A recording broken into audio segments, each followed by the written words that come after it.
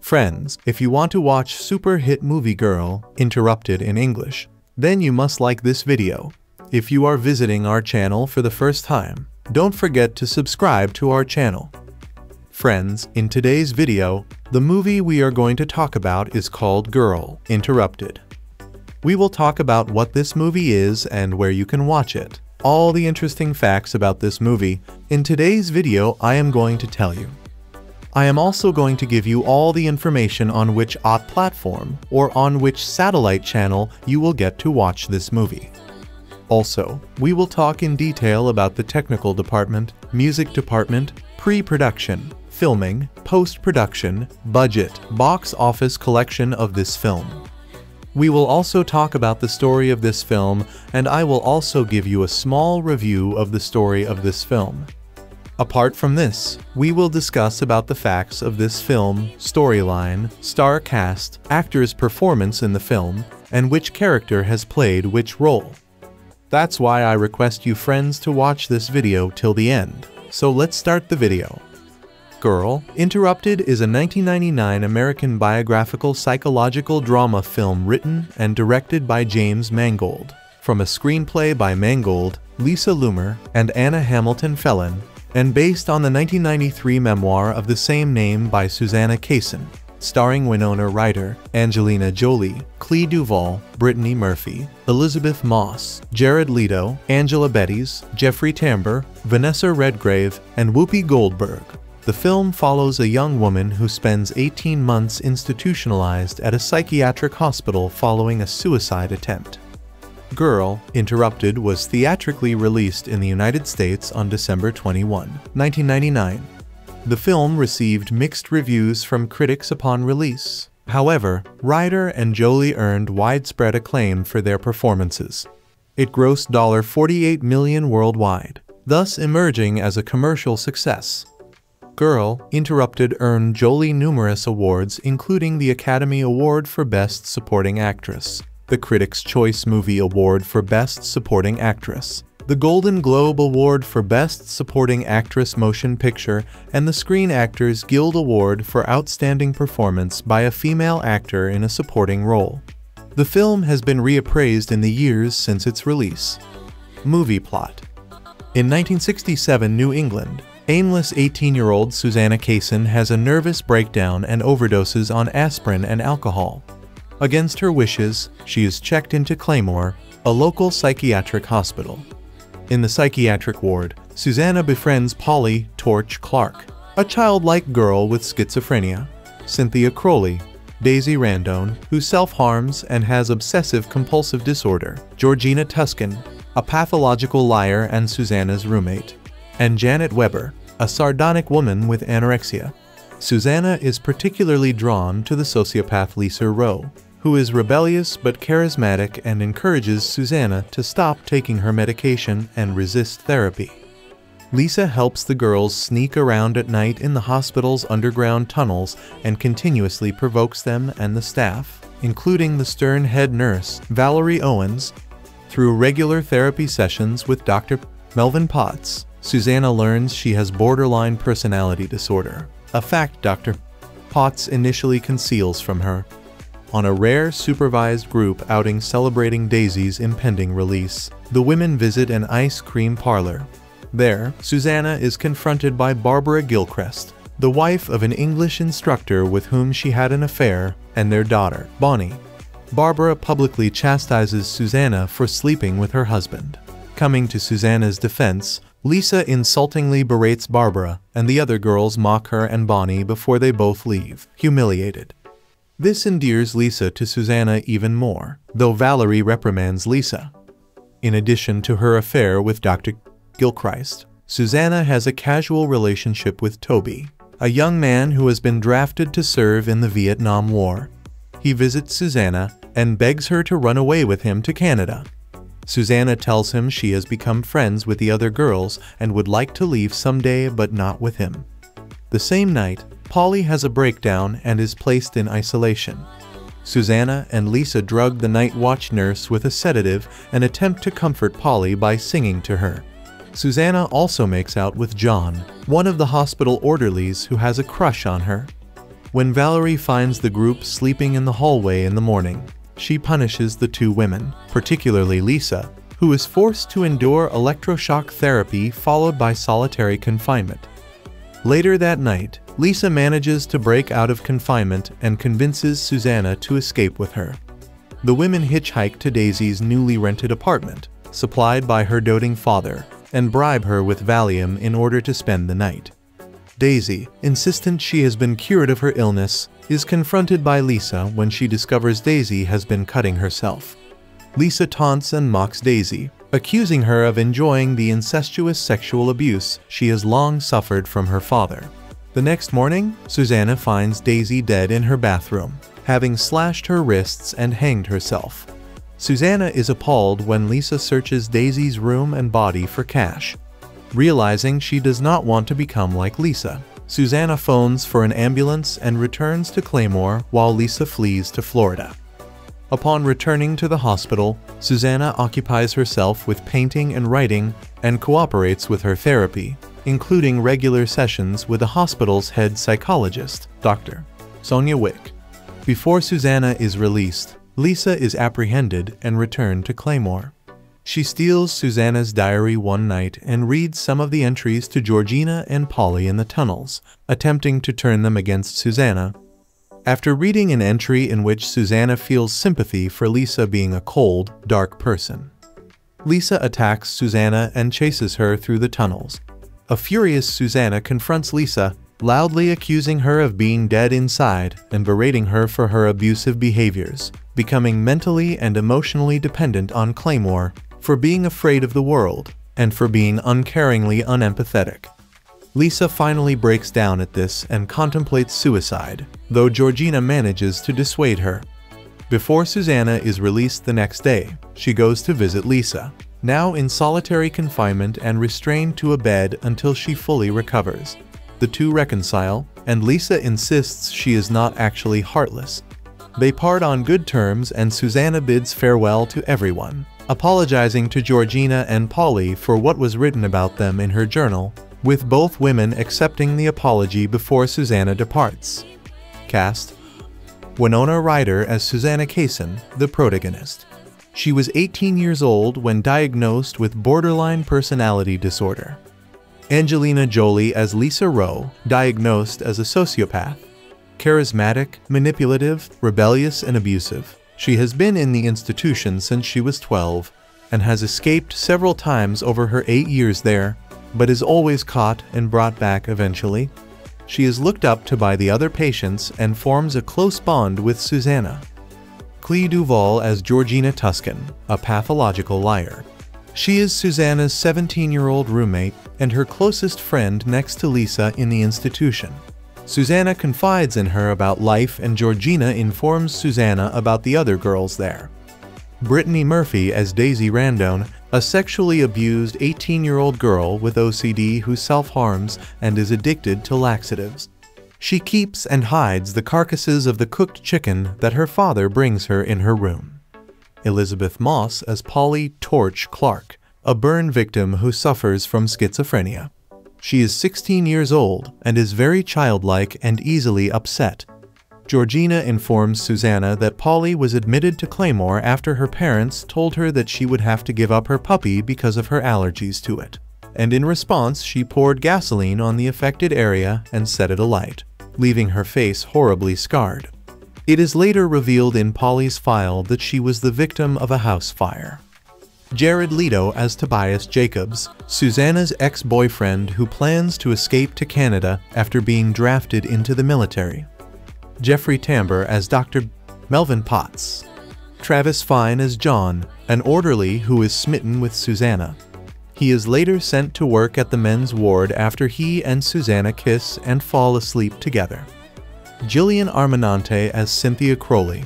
She claims that she is a sociopath like Lisa, but Lisa denies the claim and states that she is a dyke. She is 22 and is easily amused. Angela Bettis as Janet Weber, an anorexic. Like Lisa, she is abrasive and seemingly aloof, but is also easily irritated or upset. She is 20 years old. Vanessa Redgrave as Dr. Sonia Wick, the head psychologist of the hospital. Whoopi Goldberg as Valerie Owens, the stern but caring head nurse who oversees the hospital. Bruce Altman as Professor Gilchrist. Mary Kay Place as Mrs. Gilchrist.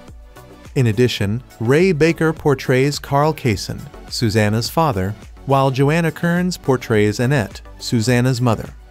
Development In June 1993, Columbia Pictures fought off a number of other studios to buy the film rights to Kaysen's memoir.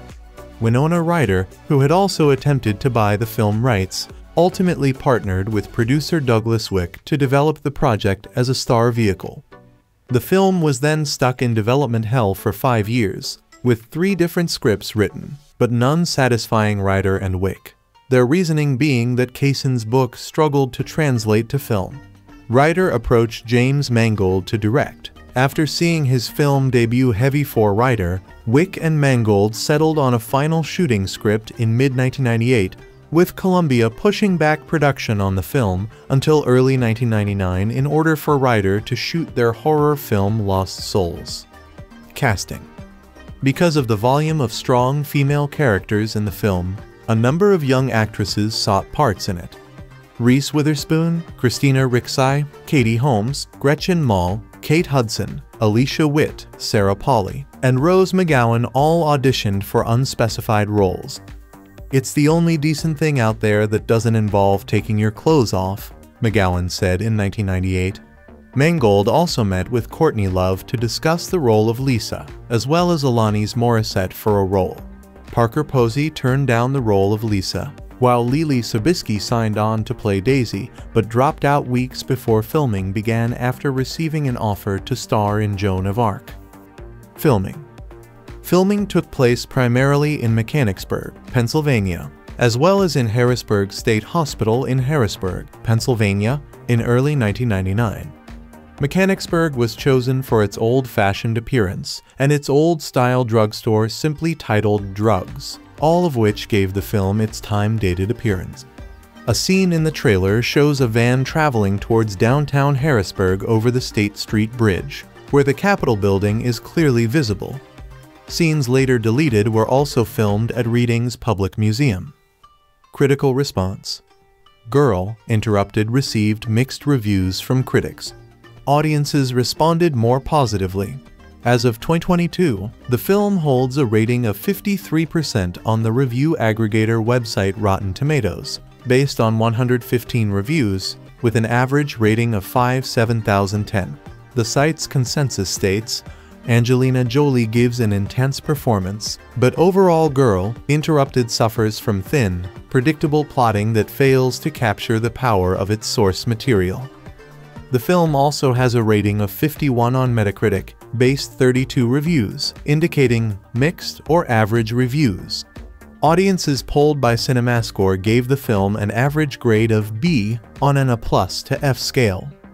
Writing for the New York Times, Stephen Holden wrote, Girl, Interrupted is a small, intense period piece with a hard-headed tough love attitude toward lazy, self-indulgent little girls flirting with madness. You can drive yourself crazy, or you can get over it. The choice is yours. Tom Coates from the BBC wrote, Girl, Interrupted is a decent adaptation of Kaysen's memoir of this period, neatened up and polished for an audience more familiar with gloss than grit. Kenneth Turan of the Los Angeles Times was critical of the screenplay adaptation from the source novel, writing that it has a hard time resisting manufacturing obvious, standard issue drama of the one flew over the cuckoo's nest knockoff variety, though he conceded that the performances of Ryder and Jolie help the film stay as honest as it manages to sporadically be. Both women have connected strongly to their parts and they ensure their characters' reality even if the dramas they are involved with don't always rise to that standard. Paul Tatara of CNN panned the film's screenplay for containing little self-reflection in the dialogue, adding that each girl is simply issued a quirk that she drags around like a ball and chain. Tatara summarized, the good news is that writer-director James Mangold's Girl, Interrupted is one of the best films of the year. The bad news is that you have to be a hypersensitive 17-year-old girl to think so. Roger Ebert was critical of the film's failure to focus on the themes it presents, writing, the film is mostly about character and behavior, and although there are individual scenes of powerful acting, there doesn't seem to be a destination. That's why the conclusion is so unsatisfying. The story, having failed to provide itself with character conflicts that can be resolved with drama, turns to melodrama instead. Charlotte O'Sullivan of the Time Out Film Guide praised Jolie's performance, but was critical of writers, writing, does it matter that every time Jolie's off-screen, the film wilts a little?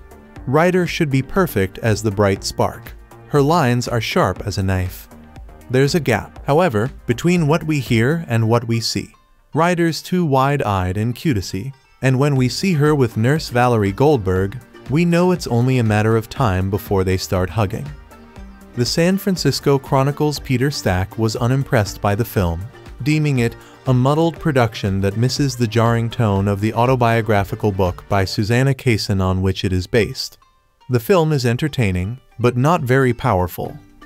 Johnny Bernard of the New York Daily News gave the film a mixed review, awarding it 2 out of 4 stars, writing that Ryder is often just a crumpled, listless figure on a bed, which, while true to the nature of depression, is not, cinematically speaking, the most arresting image, and likening the performances of Whoopi Goldberg and Vanessa Redgrave as bordering on cameos. Author Opinion The author, Susanna Kaysen, was among the detractors of the film, accusing Mangold of adding melodramatic drivel to the story by inventing plot points that were not in the book such as Lisa and Susanna running away together. Themis confusion of social nonconformity with insanity. Susanna wonders if her prolonged stay at Claymore is justified. The doctor is hasty in his analysis of her and bases his diagnosis on preconceived ideas relating to gender bias. Her diagnosis suggests that normal is as relative as insanity is, and Kaysen interrogates the Diagnostic and Statistical Manual of Mental Disorders definition of borderline personality disorder, calling it a generalization rather than a specific case study. She points out that while she is considered recovered from that condition, she still has the first symptom, which is uncertainty about several life issues. While Susanna is speaking to her Dr. Melvin, she calls the rest of the patients fucking crazy, and that she does not belong with them. However, her parents and the doctor think otherwise, and soon she also realizes that she's not much different than them. Forced institutionalization. Lisa calls therapy the rapey, which is a play on words insinuating that the therapy they are forced to undergo in the institution feels like rape psychological, and says the more a person divulges their secrets, the more likely they would be considered for release. However, on the flip side for people like Susanna and Lisa, who claim to have no secrets, the option of release seems oblique although the construct of the asylum represented an immeasurable tool in the pursuit to expiate mental illness. The respect for patient autonomy appeared to have been relegated to those without mental illness. In 1973, the infamous phrase, dying with one's rights on, was coined by Darold Treffert, referring to the ultimate prioritization of patient autonomy over beneficence. Representations of being a woman with mental illness. The emergence of women's liberation movements in the 1960s is of significance to the period Kaysen's memoir is set. The rights as well as standards were set much differently for women than they were men. Dr. Melvin originally doesn't inform Susanna of her diagnosis, deeming it was unnecessary for her to know. Eventually, when he informs her of the diagnosis, he cites the disorder being more common in women than in men. Subsequent studies on the understandings of the linkages between gender and mental health since the 1960s and 1970s have identified a more even gender balance in overall levels of mental health as they have incorporated a wider range of disorders. Isolation The physical depiction of Claymore is reminiscent of a prison, with bar-covered windows and regular room inspections to make sure the girls are not causing harm to themselves as well as not trying to escape. The girls are subject to the mercy of the ever-watchful staff. The theme of isolation is exhibited in Susanna's life as neither her parents nor her boyfriend who quits after a few attempts come to visit her in the institution. The theme of isolation also serves as a protective shield from the dangers of the outside world as even Lisa complains that there's nobody to take care of you out there, and people like Torch are safe from an abusive home and drug-pushing environment. Girl interrupted movie review. In the spring of 1967, while everyone else in her senior class seems to be making plans for college, Susanna consumes a bottle of aspirin and a bottle of vodka. My hands have no bones, she observes. Soon, with a push from her family, she has committed herself to Claymore, an upscale psychiatric institution. The diagnosis? Borderline personality disorder, say the shrinks. A supervising nurse played by Whoopi Goldberg offers her own diagnosis. You are a lazy, self-indulgent little girl who is driving yourself crazy. Winona Ryder plays Susanna Kaysen, whose real-life memoir tells of how she lost two years of her life by stumbling onto the psychiatric conveyor belt. Although mental illness is real and terrifying, the movie argues that perfectly sane people like Susanna can become institutionalized simply because once they're inside the system, there is the assumption that something must be wrong with them. Goldberg's nurse has seen this process at work and warns Susanna, do not drop anchor here. But Susanna fits easily into the cocoon of Claymore, where the other women include a rebel misfit named Lisa Angelina Jolie, a roommate named Georgina Clea DuVall who would like to live in the land of Oz, the burn victim Polly Elisabeth Moss, and the deeply troubled Daisy Brittany Murphy. The staff is headed by a bureaucrat Jeffrey Tambor and an intelligent but detached psychiatrist Vanessa Redgrave. The film unfolds in an episodic way, like the journal it's based on. Themes make an appearance from time to time, but not consistently. The film is mostly about character and behavior, and although there are individual scenes of powerful acting, there doesn't seem to be a destination. That's why the conclusion is so unsatisfying. The story, having failed to provide itself with character conflicts that can be resolved with drama, turns to melodrama instead. One problem is the ambivalent nature of Susanna's condition ambivalent is one of her favorite words. She isn't disturbed enough to require treatment, but she becomes strangely absorbed inside Claymore, as if it provides structure and entertainment she misses on the outside. Certainly Lisa is an inspiration, with her cool self-confidence masking deep wounds. Instead of being in a women's dorm at college, Susanna is in a women's dorm at Claymore, where her subject of study is herself.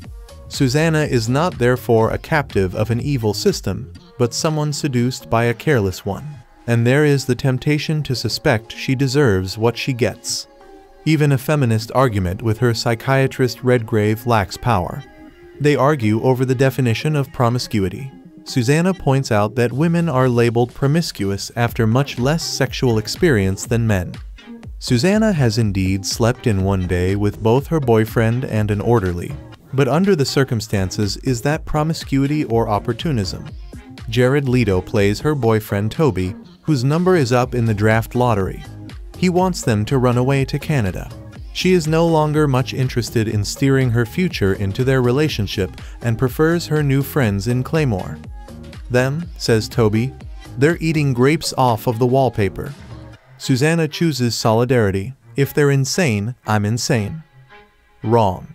They're insane, and she isn't, and that deprives the film of the kind of subterranean energy that fueled its obvious inspiration. One flew over the cuckoo's nest. Two reasons to see the film, Winona Ryder and Angelina Jolie. Their characters never really get a plot to engage them, and are subjected to a silly ending, but moment to moment, they are intriguing and watchable. Jolie is emerging as one of the great wild spirits of current movies, a loose cannon who somehow has deadly aim. Ryder shows again her skill at projecting mental states. One of her gifts is to let us know exactly what she's thinking, without seeming to. Their work here deserves a movie with more reason for existing. Most movies that include characters who suffer from mental illness don't concern themselves much with accuracy perhaps in part because the reality of living with and being treated for a mental illness isn't particularly cinematic. James Mangold's 1999 drama Girl, Interrupted is unusual in that it does show some of the mundanity of treatment and day-to-day -day life. Yet in its depictions of its characters and their illnesses particularly that of its main character, Susanna Winona Ryder its legacy is a mixed bag. We know that far too many films characterize people with mental illnesses as dangerous or violent, some even going so far as to turn them into supervillains, and that trend hasn't slowed down in recent years. Split, Glass, and the massively successful Joker, not to mention the sequel due out later this year, Joker, à Deux are all evidence of this. And those films aren't even horror movies. The horror genre is also packed to the gills with mentally ill killers. But aside from a tendency for violence, we also see other problematic representations of mental illness in Hollywood, like Silver Linings Playbook's disturbing implication that bipolar disorder can be cured with romantic love. Girl, Interrupted, on the other hand, portrays mental illness with considerably more nuance. With the exception of Lisa Angelina Jolie, who is diagnosed as a sociopath, none of the characters are violent. And even Lisa isn't that violent, she screams at people and slaps another patient at one point. But that's the extent of it. The film also accurately shows the reality that people with mental illness are far more likely to be the victims of violence and abuse than the perpetrators, such as Daisy Brittany Murphy, who appears to suffer from OCD and an eating disorder stemming from at least in part her father's abuse. The movie also points out a problem that persists to this day women are frequently given less agency in and control over their own medical care. The patients at Claymore aren't told their diagnosis or what medications they're being given. We never see a doctor or nurse ask a patient whether her medications are working or if she even wants them. It also exposes the dark side of a system that still, and perhaps even more so today, treats people with serious mental illnesses as a problem to be warehoused rather than as individuals with their own perspectives who deserve a say in their own treatment. All that said, the film is far from flawless. Though the characters are largely sympathetic, they're also mostly simplistic, one-dimensional representations of their illnesses. Georgina is a pathological liar. Polly is in a state of arrested development. Janet has anorexia, but we never learn anything else about these people. To be fair, the film is Susanna's story. It's based on the book of the same name written by Susanna Kaysen about her real-life experiences, so it makes sense that Susanna is more fleshed out than the supporting characters. But considering that she spent a year institutionalized with them, it wouldn't be asking for much to see some character development beyond just learning their diagnosis. Lisa does get more development by virtue of her extended screen time though we still learn surprisingly little about her beyond the symptoms of her illness. She's charming, manipulative, selfish, and at times scary. And although she doesn't get a happy ending that we see, the film comes dangerously close to glamorizing female sociopathy. Although Lisa often intimidates those around her, especially her fellow patients, she's also undeniably magnetic, funny, and entertaining. Some viewers might consider some aspects of her personality as aspirational in the same way that some Fight Club viewers find Tyler Durden aspirational, and the casting of Beautiful, the statuesque Angelina Jolie only contributes to this. The depiction of Susanna's illness is even more problematic. Susanna is diagnosed with borderline personality disorder, and she herself seems to agree that the diagnosis is accurate. Hollywood has a history of exploitative portrayals of BPD on screen, such as Fatal Attraction's Alex Glenn Close and single white females Hedy Jennifer Jason Lee. Girl, Interrupted, though, is a drama, not a thriller, and wants to make Susanna likable and sympathetic rather than villainous. But in doing so, it tends to focus on the sexy, fun to watch parts of her illness, the impulsivity, the promiscuity while glossing over or ignoring the less attractive symptoms that typically present with BPD, profound and sometimes chaotic mood swings, a tendency to view the world in black and white, an extreme fear of abandonment, intense and unstable relationships, and acute anger. Of course, not all people with BPD experience all of these symptoms, but the vast majority experience some of them. Yet once Susanna is admitted to Claymore, her symptoms apparently disappear apart from a pair of brief sexual interludes with two attractive male characters. For comparison, Shame's Sissy Carey Mulligan, though not explicitly diagnosed with BPD, is one of the most accurate representations of the condition in mainstream film. Even worse, the film appears to treat BPD as though it's not a real, serious mental illness, especially compared to the other patient's illnesses. Head nurse Val Whoopi Goldberg tells Susanna that she's just lazy and self-indulgent, and the film never contradicts this assertion. Psychologist Dr. Wick Vanessa Redgrave presents sanity as a choice in Susanna's case and asks her to what degree she intends to indulge her flaws, implying that Susanna can and should simply choose to get over it a harmful narrative about mental illnesses that our culture continues to perpetuate. In her closing monologue, Susanna herself says that she wasted a year of her life in the psychiatric facility, implying, again, that she didn't actually need the treatment and could have chosen to do things differently. But in reality, BPD is a serious condition that can be incredibly painful to live with. And just like depression, OCD, or sociopathy, sufferers can't just choose to be sane. The plot also downplays the hard work of treatment and recovery, presenting it in a quick montage set to cheerful music. Susanna appears to spend less than half of her year at Claymore actually cooperating with her doctor, taking her meds, and engaging in her therapy sessions, and at the end, she seems to be fully recovered, in control of her emotions, sleeping soundly, and no longer acting out. She acknowledges that she'll continue to see Dr. Wick twice weekly, but we don't see any evidence that she still suffers from BPD symptoms. Yet in actuality, recovery from BPD usually takes years, with symptoms fading gradually over time, and some sufferers never achieve complete remission.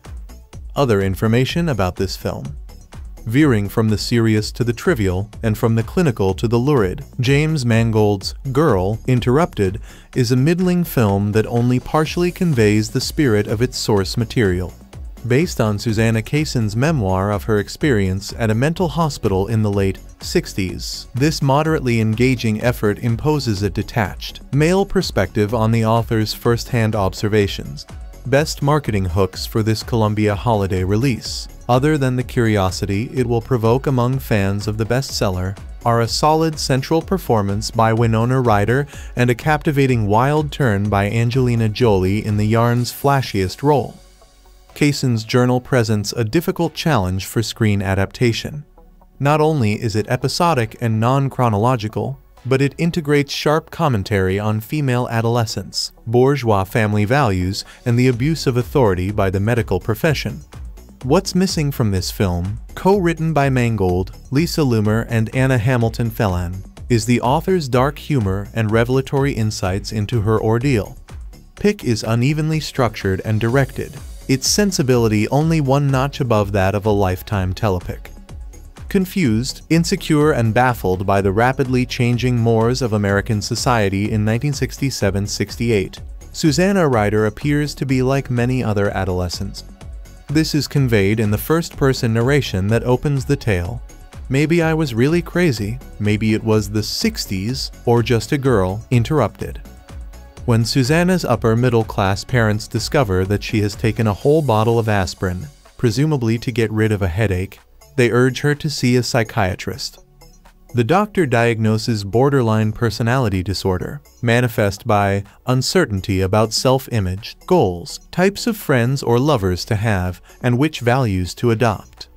Without a moment of hesitation or doubt, he recommends institutionalization at the Claymore Hospital film's focus on teenage girls gives it a somewhat novel angle.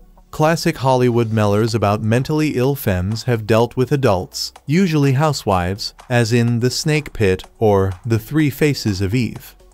But once Susanna lands at the asylum, the story toes a more conventional path. Most of the narrative is set within the confines of the ward, centering on Susanna's interactions and growing friendship with a half dozen inmates who are mostly character types rather than full-blooded characters. The clique of eccentrics includes Lisa Jolie, a charming sociopath who has spent years in the hospital, with repeated escapes and returns, Daisy Brittany Murphy, a pampered daddy's girl with an eating disorder, and the sensitive Polly Elisabeth Moss, whose scarred face offers a sharp contrast to her sensitive heart. As expected in such tales, there's a benevolent, no-nonsense nurse, Valerie Whoopi Goldberg, who befriends Susanna and brings her back to reality whenever she engages in crazy, dreamy, as she says, conduct. Vanessa Redgrave shows up in three scenes as head psychiatrist Dr.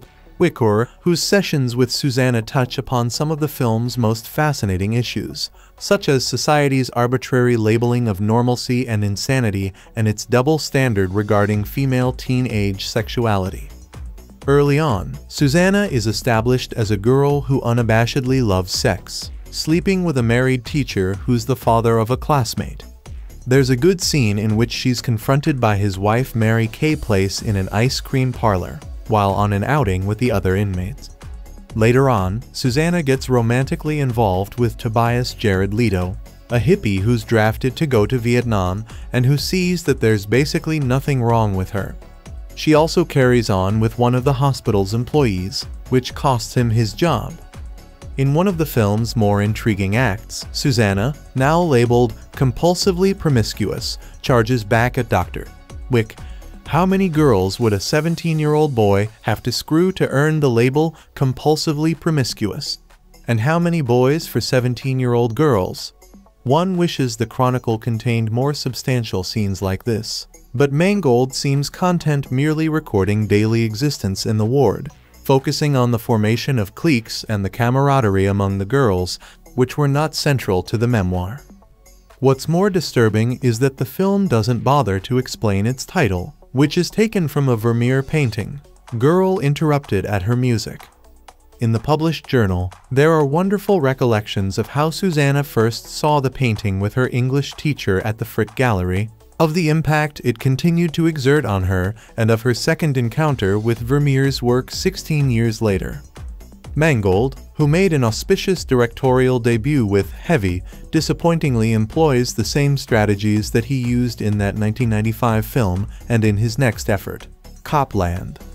But the longueurs and deliberate pacing that were so crucial to the dissection of uneventful life in Heavy prove detrimental here as they did in Copland to viewers' involvement, resulting in a lopsided, often dull movie. Ryder is credibly cast as the rich, spoiled, and confused girl, occasionally rising above the script's limitations. Stealing every scene she's in, Jolie is excellent as the flamboyant, irresponsible girl who turns out to be far more instrumental than the doctors in Susanna's rehabilitation. Redgrave and Goldberg are decent in roles that don't allow much emotional range. As befits the setting, production values are unadorned, particularly the visuals by Jack Green, Clint Eastwood's reliable lenser, who endows the story with a rough but sharp look. Richard Hoover's detailed design and Arianne Phillips' tacky costumes contribute to an accurate recreation of the late 60s, highlighted by popular songs of the era. Every actor or actress has his or her pet project, something they put their whole heart and soul into getting on the screen. For some, especially those who flirt only briefly or not at all with the spotlight of public adulation, this can be an act of futility. Even for those with a reputation and some clout in Hollywood, the road isn't always easy. Such was the case with Winona Ryder and Girl Interrupted. It took several years of lobbying and hard work for Ryder to secure the financial backing for the project to be greenlighted. The final result, directed and co-written by James Mangold, bears Ryder's name as an executive producer. It also comes with the seal of approval from Susanna Kaysen, who wrote the autobiographical book upon which the screenplay is based. She has been given an associate producer credit. When it comes to sexual promiscuity in American society, is there a double standard? Of course, and it was even more evident during the mid to late 1960s, the era in which Girl Interrupted is set.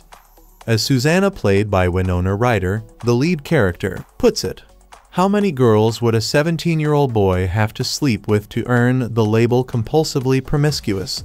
And how many boys for 17-year-old girls? The answer is telling. A teenage boy with multiple partners would be considered virile or would be viewed good-naturedly as sowing his wild oats. At best, a girl who approached sex with a similar vigor would be called a slut At worst, as was Susanna's case, she would be classified as having a borderline personality disorder.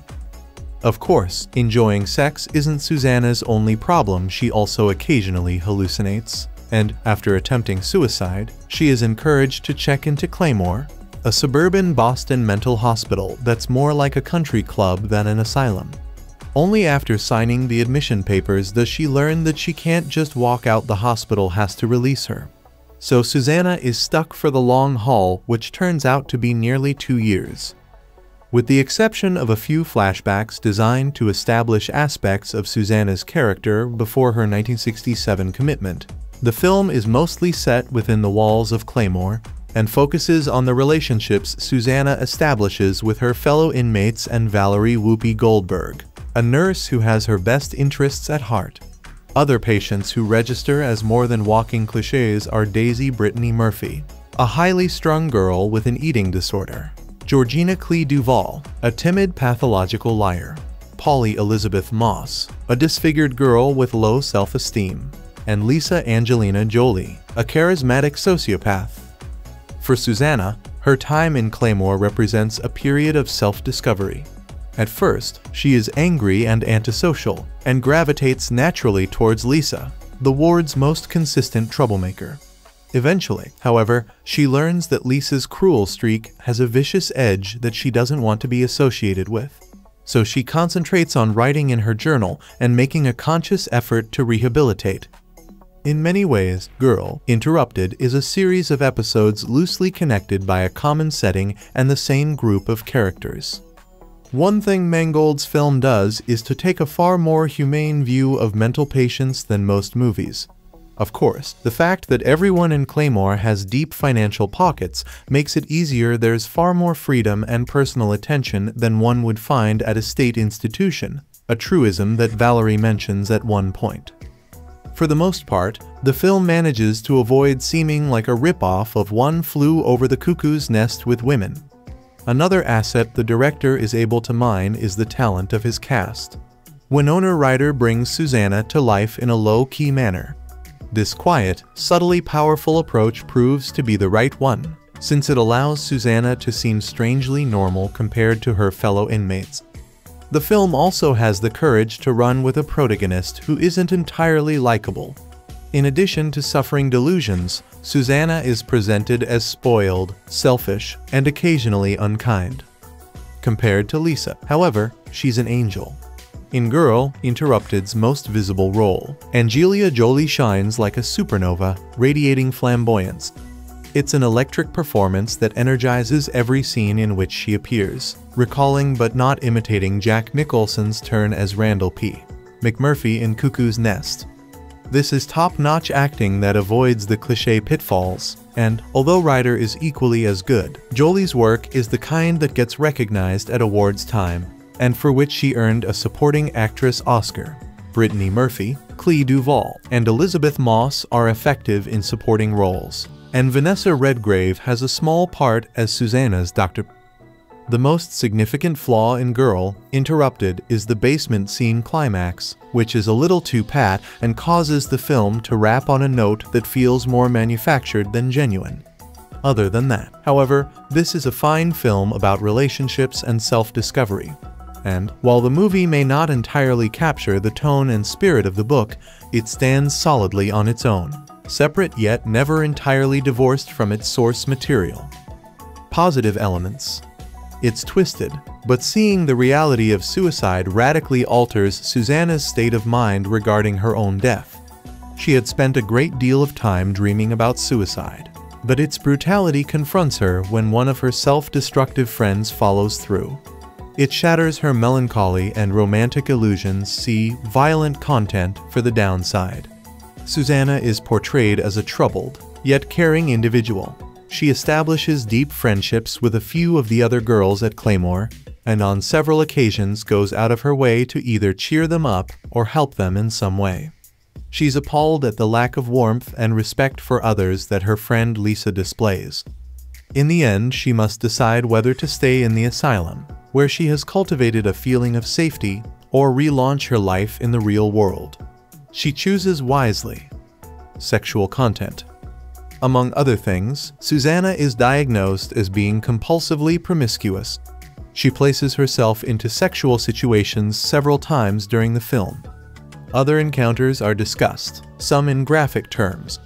When her boyfriend comes to visit her, she drags him to her room for a romp in bed. Afterwards, she brags about performing oral sex. Indeed, extremely crude sexual and homosexual dialogue between the girls is common. Later, in a gesture of friendship, Susanna leans over and gives Lisa a kiss on the side of her mouth. Implied lesbian attraction comes up a few times between Lisa and other girls, but she and Susanna never act out whatever feelings they may have. Violent content. Disruptive and violent mental patients are shown being admitted and treated at the hospital. Kicking, clawing, struggling, and screaming make for several rather intense scenes. One of Susanna's friends hangs herself after Lisa unleashes a tirade of hate and accusations against her. The poor girl is accused in explicit terms of enjoying her incestuous relationship with her father. The camera lingers on her dead body hanging over the bathtub as Lisa callously goes through her pockets for money. Susanna cries hysterically. Crude or profane language. F-words dominate with over 50 uses. The S-word and other vulgarities aren't far behind. Drug and alcohol content. Susanna and her fellow patients smoke constantly. Rarely are any of them seen without a cigarette between their lips. Susanna chases a bottle of pills with alcohol in her suicide attempt. Revelers drink at a dance club. Patients at Claymore trade pills for favors. When Susanna and Lisa break out of the hospital, they share a marijuana joint with a group of hippies. Summary Susanna is diagnosed with a borderline personality disorder that results in severe depression, a state of mind that's likely to follow audiences out of the theater. Girl, Interrupted is a dreary indulgence into the world of mental disorders, despair and hatred with little offered to lift the gloom. Many teens may find affinity with Susanna's disenfranchised existence, but they won't get much hope in return. What you need to know. Winona Ryder executive produces and stars in this late 1960s tale, Girl, Interrupted, about a young woman named Susanna Kaysen, who finds herself at a mental institution and isn't sure if she is insane or not. After she chases a bottle of aspirin with a bottle of vodka, Susanna is prescribed a short rest at a mental institution for young women. There, Susanna meets darker diseased personalities than her own including the rebellious Lisa played by Angelina Jolie. After Susanna and Lisa break out for a night and witness a suicide, Susanna returns and finds the courage to pursue therapy so she can go free. Questioning the boundaries of freedom and confinement, friendship and betrayal, and madness and sanity, this movie features strong performances. If Susanna's illness is merely the result of confusion confounded by multiple sins, then Susanna doesn't need treatment but repentance. Her therapy revolves around expressing her thoughts. Hence, she is a self-liberator. This movie has many obscenities, acts of willful disobedience, difficult talk about incest, and the after effects of a hanging suicide. Ryder displays bravery and courage with this complex role, but unfortunately lacks wisdom on the mechanics of inner healing. Content Largely humanist worldview of recovery from insanity by psychotherapy, with many pagan elements of sheer rebellion and some mild moral elements of caring for others, self-sacrifice and mention of praying for another. 45 obscenities and 9 profanities, slaps to the face, threats of violence, implied attempted suicide, and implied suicide by hanging, implied fornication and implied act of adultery. No nudity but brief image of woman in wet shirt. Alcohol use, extensive smoking and brief marijuana use, and mental inmates break rules by sneaking away. Lots of scary scenes of strange behaviors caused by mental disorders, struggles, and image of corpse. More detail. Getting this little bit of business out of the way, Girl, Interrupted is in many, many ways very similar to One Flew Over the Cuckoo's Nest in that the leading mental patient is not so much insane but disenfranchised, and the supporting cast do their best with their lunacies. However, whereas One Flew Over the Cuckoo's Nest ended in tragedy, Girl, Interrupted ends with self-actualized hope. Winona Ryder executive produces and stars in this late 1960s tale of a young woman named Susanna Kaysen, who finds herself at a mental institution and isn't sure if she really is insane or not. Susanna becomes the object of her parents' concern when she doesn't come forward to receive her high school diploma in a prestigious northeastern community. Susanna is also discovered to be granting sexual favors to a friend of her father's, after she chases a bottle of aspirin with a bottle of vodka, Susanna is prescribed a short rest at a nearby mental institution for young women. There, Susanna meets darker, more diseased personalities than her own. Georgina Clea DuVall is a compulsive liar. Polly Elisabeth Moss burns herself. And Lisa Angelina Jolie likes to stir the waters by compulsively revealing everybody's deepest secrets. Susanna distrusts her fellow patients, but soon befriends them. She also mistrusts the staff, but discovers they are kind, especially Nurse Valerie Whoopi Goldberg and Dr. Wick Vanessa Redgrave. One day, an old boyfriend Tobias Jacobs Jared Leto comes to break her out. He is fleeing the draft and wants to go to Canada. Despite her distaste for the mental institution, Susanna realizes that this is not the way to leave. Nurse Valerie Whoopi Goldberg encourages her by telling her she is not a lifer and that she must respond to treatment so that she can get out.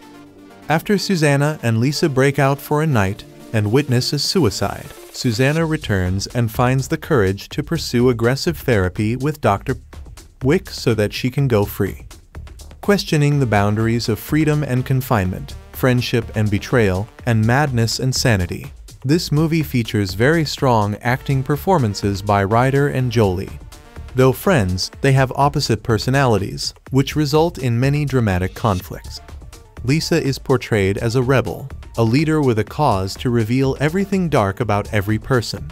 She is considered a lifer, who is so absorbed in pushing everybody's buttons that she doesn't allow her own sins to be revealed and forgiven. Susanna wants to be free, she wants to be a writer, and she wants to be unique. These are wonderful goals, but she believes that her parents and the times when she lives squelch her desire to be a writer.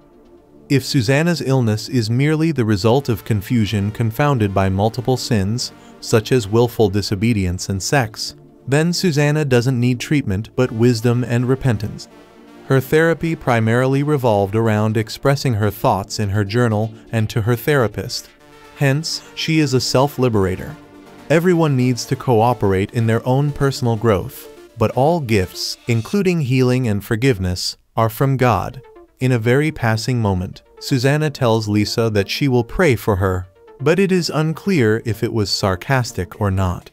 The whole impetus of sanity is geared towards self-actualization. This movie has many obscenities by young women not in control of their own behaviors. It also features other acts of willful disobedience, some difficult talk about incest, and the after effects of a hanging suicide. It is not an after-school special type movie, where young fans of Ryder or the other young actresses can enjoy a sanitized view of insanity. With little sense of outside redemption, and an unclear understanding of who actually gets better or how, this movie lacks some dramatic arc concerning a very fertile subject matter. Ryder displays bravery and courage with this complex role, but unfortunately lacks wisdom on the mechanics of inner healing. Girl, Interrupted, directed by James Mangold and based on the memoir by Susanna Kaysen, is a compelling and introspective film that delves into the complexities of mental health and societal expectations. Set in the late 1960s, the movie offers a poignant exploration of the lives of young women in a psychiatric institution and raises important social themes regarding mental illness, gender roles, and the constraints of societal norms. Central to the film is Winona Ryder's portrayal of Susanna Kaysen, a young woman struggling with her identity and a sense of disillusionment with the world around her. Ryder captures Susanna's vulnerability and internal turmoil with a nuanced performance, conveying the challenges faced by individuals navigating mental health issues in a society that often stigmatizes and misunderstands them. Girl, Interrupted sheds light on the complexities of mental illness and challenges the prevailing notions of normalcy. Through the portrayal of various characters in the psychiatric institution, the film questions the societal expectations and narrow definitions of sanity. It challenges the viewer to empathize with these young women, highlighting the human experiences and emotions that transcend diagnostic labels. The film also examines the impact of gender roles and societal pressures on mental health.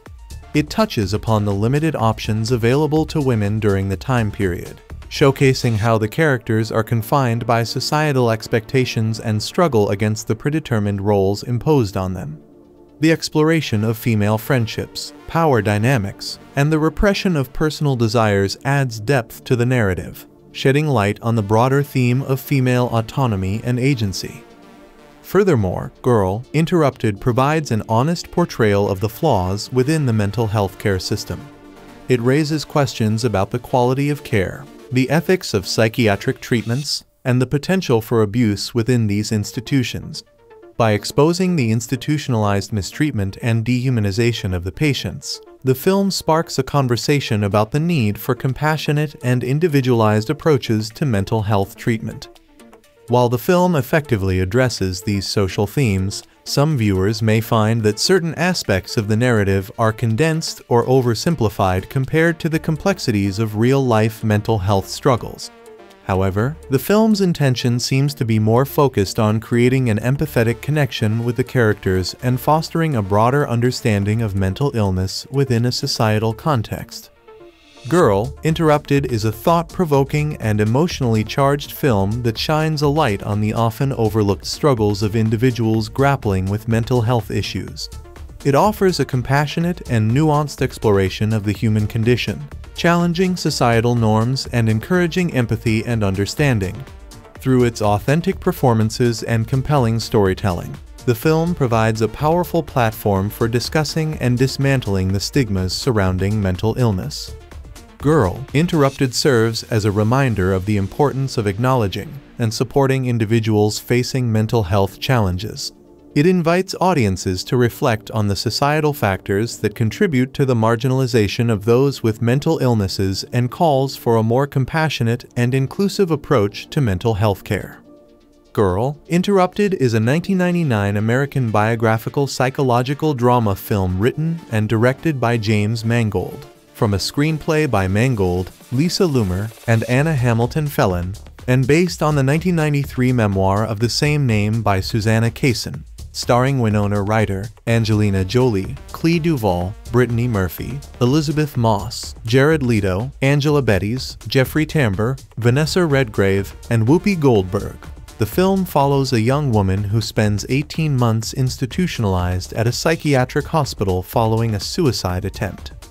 Girl, Interrupted was theatrically released in the United States on December 21, 1999, the film received mixed reviews from critics upon release. However, Ryder and Jolie earned widespread acclaim for their performances.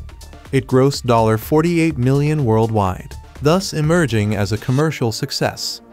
Girl, Interrupted earned Jolie numerous awards including the Academy Award for Best Supporting Actress, the Critics' Choice Movie Award for Best Supporting Actress, the Golden Globe Award for Best Supporting Actress Motion Picture, and the Screen Actors Guild Award for Outstanding Performance by a Female Actor in a Supporting Role. The film has been reappraised in the years since its release.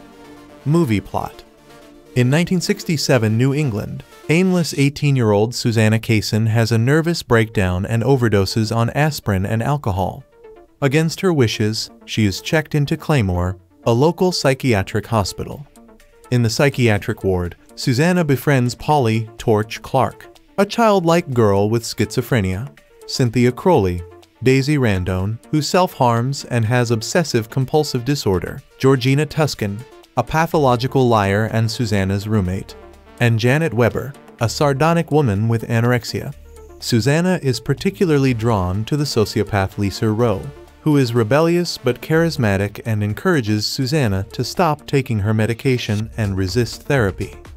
Lisa helps the girls sneak around at night in the hospital's underground tunnels and continuously provokes them and the staff, including the stern head nurse, Valerie Owens. Through regular therapy sessions with Dr. Melvin Potts, Susanna learns she has borderline personality disorder, a fact Dr. Potts initially conceals from her. On a rare supervised group outing celebrating Daisy's impending release, the women visit an ice cream parlor. There, Susanna is confronted by Barbara Gilchrist, the wife of an English instructor with whom she had an affair, and their daughter, Bonnie. Barbara publicly chastises Susanna for sleeping with her husband. Coming to Susanna's defense, Lisa insultingly berates Barbara, and the other girls mock her and Bonnie before they both leave, humiliated. This endears Lisa to Susanna even more, though Valerie reprimands Lisa. In addition to her affair with Dr. Gilchrist, Susanna has a casual relationship with Toby, a young man who has been drafted to serve in the Vietnam War. He visits Susanna and begs her to run away with him to Canada. Susanna tells him she has become friends with the other girls and would like to leave someday but not with him. The same night, Polly has a breakdown and is placed in isolation. Susanna and Lisa drug the night watch nurse with a sedative and attempt to comfort Polly by singing to her.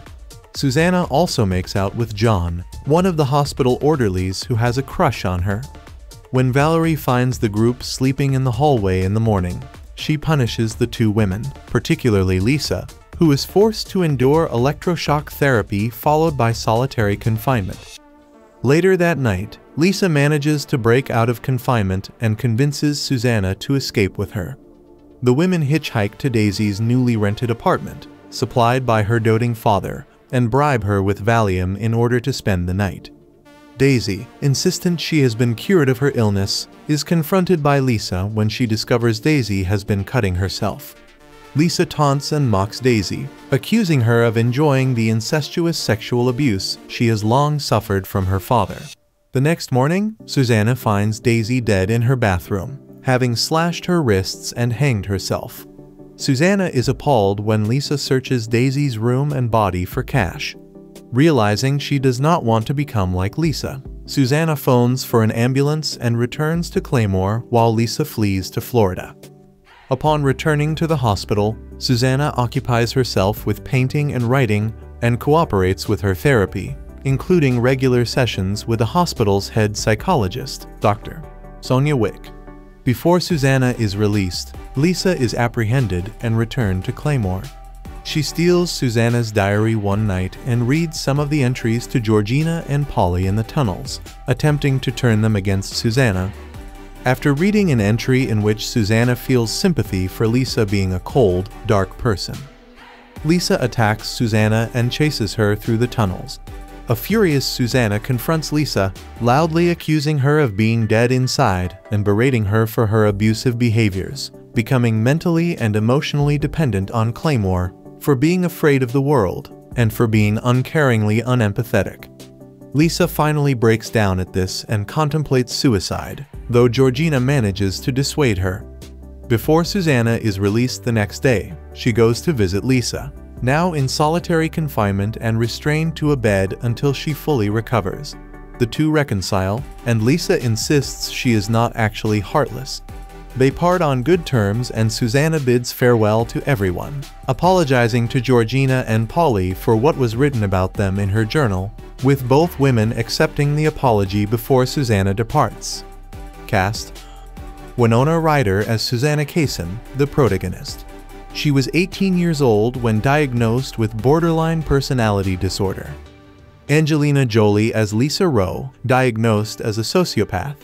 Charismatic, manipulative, rebellious, and abusive. She has been in the institution since she was 12 and has escaped several times over her eight years there, but is always caught and brought back eventually. She is looked up to by the other patients and forms a close bond with Susanna. Clea DuVall as Georgina Tuscin, a pathological liar. She is Susanna's 17-year-old roommate and her closest friend next to Lisa in the institution. Susanna confides in her about life and Georgina informs Susanna about the other girls there. Brittany Murphy as Daisy Randone, a sexually abused 18-year-old girl with OCD who self-harms and is addicted to laxatives. She keeps and hides the carcasses of the cooked chicken that her father brings her in her room. Elisabeth Moss as Polly Torch Clark, a burn victim who suffers from schizophrenia. She is 16 years old and is very childlike and easily upset. Georgina informs Susanna that Polly was admitted to Claymore after her parents told her that she would have to give up her puppy because of her allergies to it. And in response, she poured gasoline on the affected area and set it alight leaving her face horribly scarred. It is later revealed in Polly's file that she was the victim of a house fire. Jared Leto as Tobias Jacobs, Susanna's ex-boyfriend who plans to escape to Canada after being drafted into the military. Jeffrey Tambor as Dr. Melvin Potts. Travis Fine as John, an orderly who is smitten with Susanna. He is later sent to work at the men's ward after he and Susanna kiss and fall asleep together. Jillian Armenante as Cynthia Crowley. She claims that she is a sociopath like Lisa, but Lisa denies the claim and states that she is a dyke. She is 22 and is easily amused. Angela Bettis as Janet Weber, an anorexic. Like Lisa, she is abrasive and seemingly aloof, but is also easily irritated or upset. She is 20 years old. Vanessa Redgrave as Dr. Sonia Wick, the head psychologist of the hospital. Whoopi Goldberg as Valerie Owens, the stern but caring head nurse who oversees the hospital. Bruce Altman as Professor Gilchrist. Mary Kay Place as Mrs. Gilchrist. In addition, Ray Baker portrays Carl Kaysen, Susanna's father, while Joanna Kerns portrays Annette, Susanna's mother development. In June 1993, Columbia Pictures fought off a number of other studios to buy the film rights to Kaysen's memoir. Winona Ryder, who had also attempted to buy the film rights, ultimately partnered with producer Douglas Wick to develop the project as a star vehicle. The film was then stuck in development hell for five years, with three different scripts written, but none satisfying Ryder and Wick their reasoning being that Kaysen's book struggled to translate to film. Ryder approached James Mangold to direct. After seeing his film debut Heavy for Ryder, Wick and Mangold settled on a final shooting script in mid-1998, with Columbia pushing back production on the film until early 1999 in order for Ryder to shoot their horror film Lost Souls.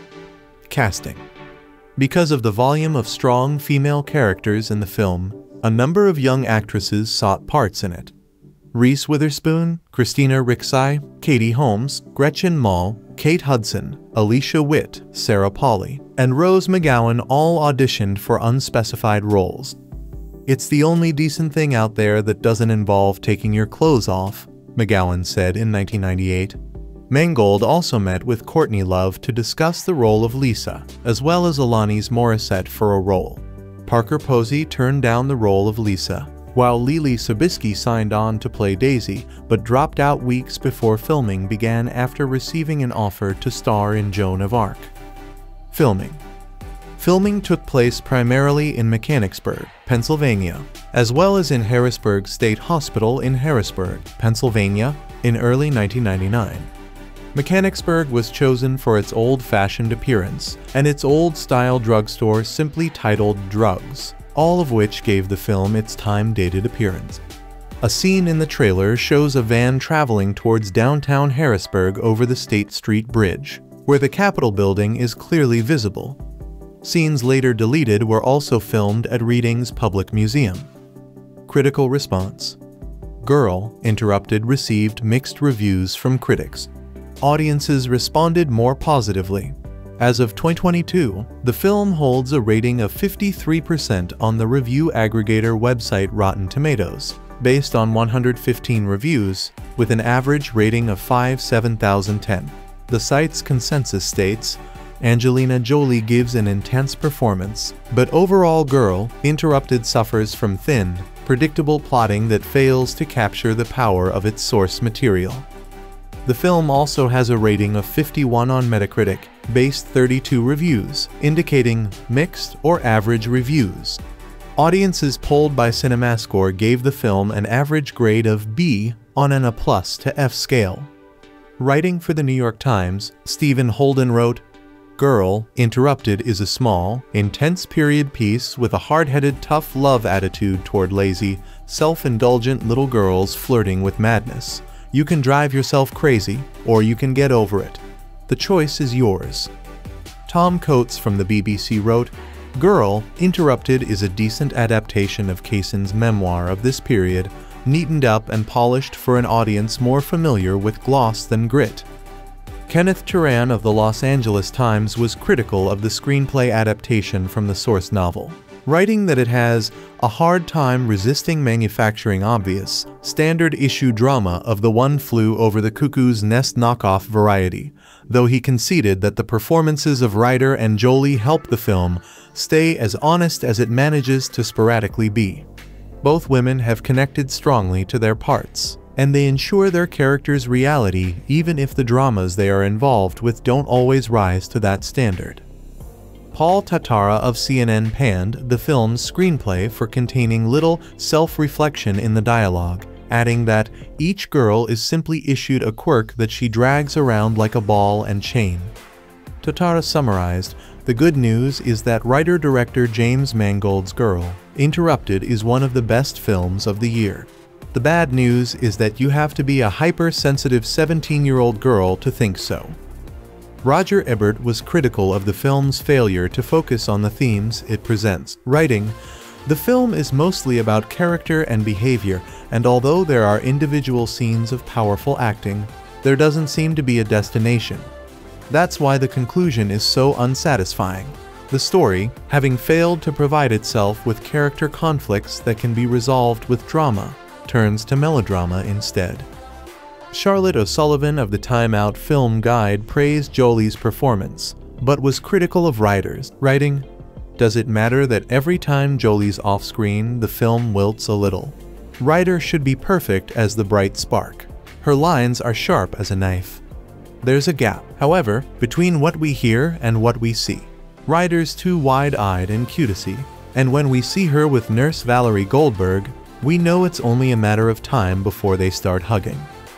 The San Francisco Chronicle's Peter Stack was unimpressed by the film, deeming it a muddled production that misses the jarring tone of the autobiographical book by Susanna Kaysen on which it is based. The film is entertaining, but not very powerful, Jami Bernard of the New York Daily News gave the film a mixed review, awarding it 2 out of 4 stars, writing that Ryder is often just a crumpled, listless figure on a bed, which, while true to the nature of depression, is not, cinematically speaking, the most arresting image, and likening the performances of Whoopi Goldberg and Vanessa Redgrave as bordering on cameos.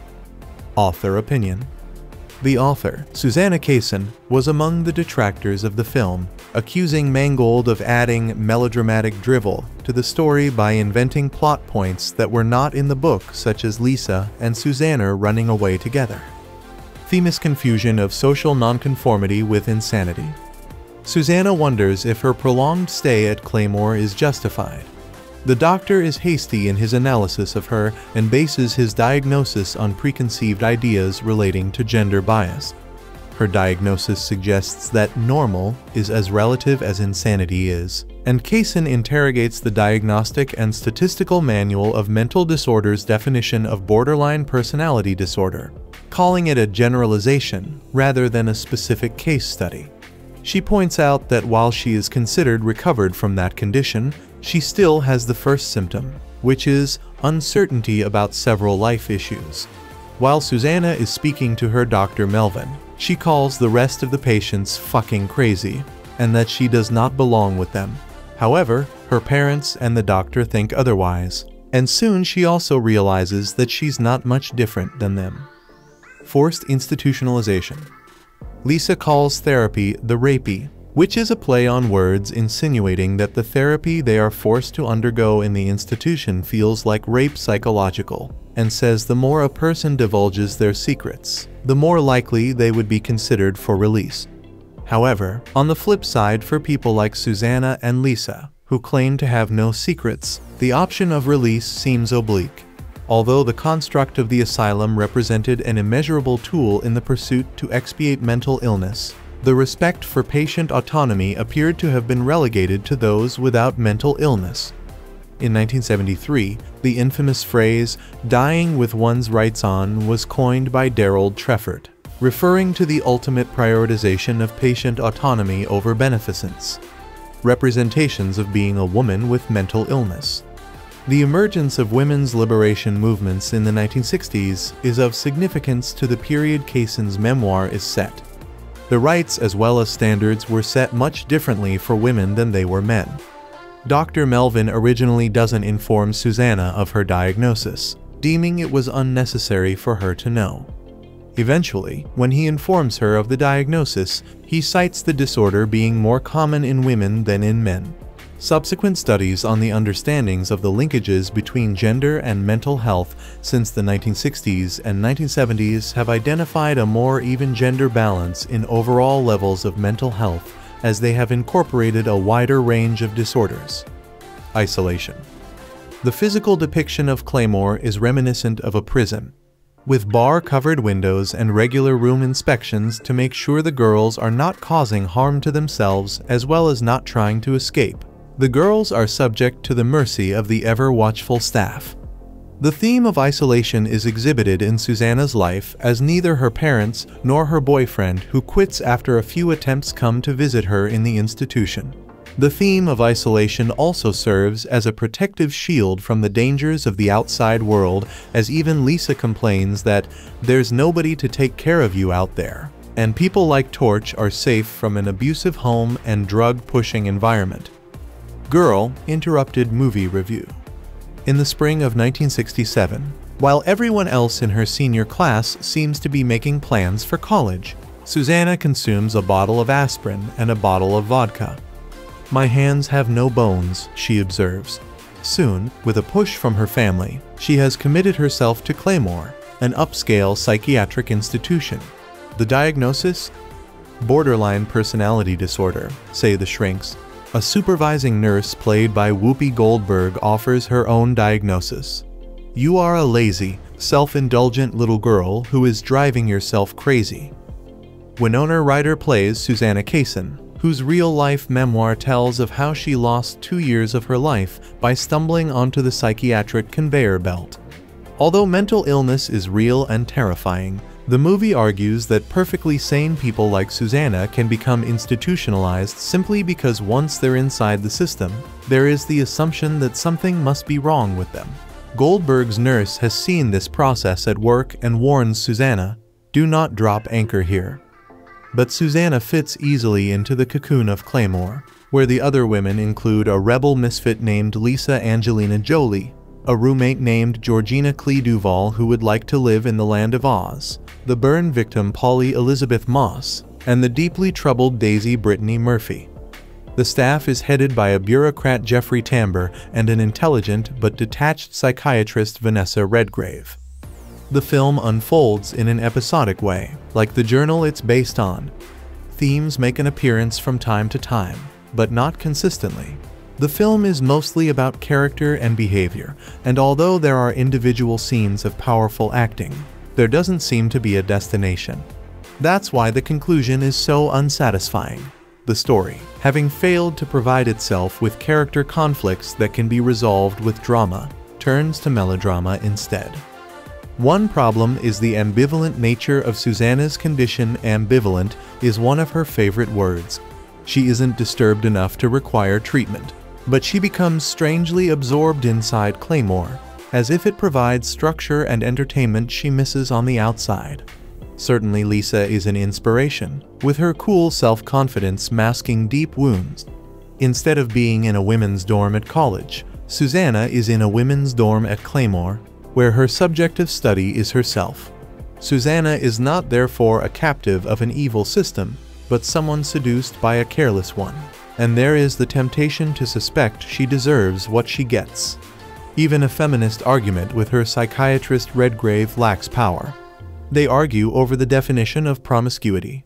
Susanna points out that women are labeled promiscuous after much less sexual experience than men. Susanna has indeed slept in one day with both her boyfriend and an orderly, but under the circumstances is that promiscuity or opportunism? Jared Leto plays her boyfriend Toby, whose number is up in the draft lottery. He wants them to run away to Canada. She is no longer much interested in steering her future into their relationship and prefers her new friends in Claymore. Them, says Toby, they're eating grapes off of the wallpaper. Susanna chooses solidarity. If they're insane, I'm insane. Wrong.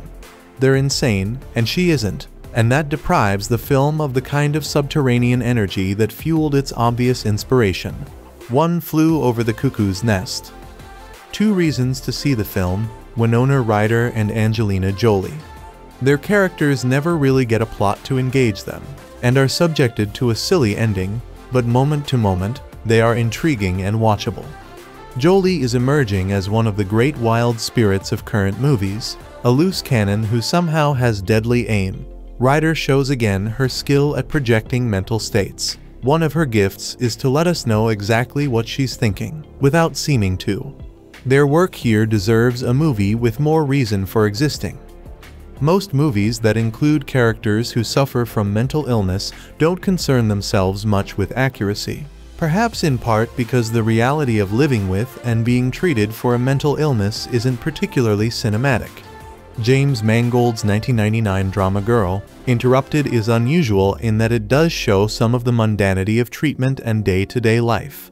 Yet in its depictions of its characters and their illnesses particularly that of its main character, Susanna Winona Ryder its legacy is a mixed bag.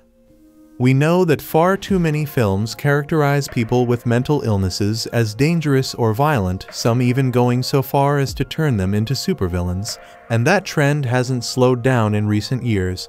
Split, Glass, and the massively successful Joker, not to mention the sequel due out later this year, Joker, Folie à Deux are all evidence of this.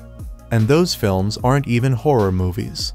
The horror genre is also packed to the gills with mentally ill killers.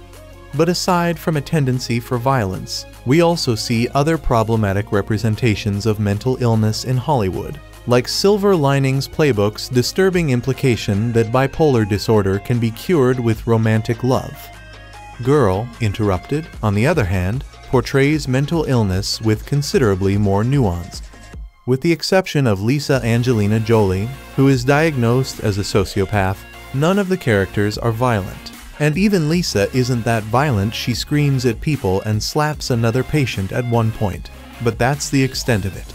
The film also accurately shows the reality that people with mental illness are far more likely to be the victims of violence and abuse than the perpetrators, such as Daisy Brittany Murphy, who appears to suffer from OCD and an eating disorder stemming from at least in part her father's abuse. The movie also points out a problem that persists to this day. Women are frequently given less agency in and control over their own medical care. The patients at Claymore aren't told their diagnosis or what medications they're being given.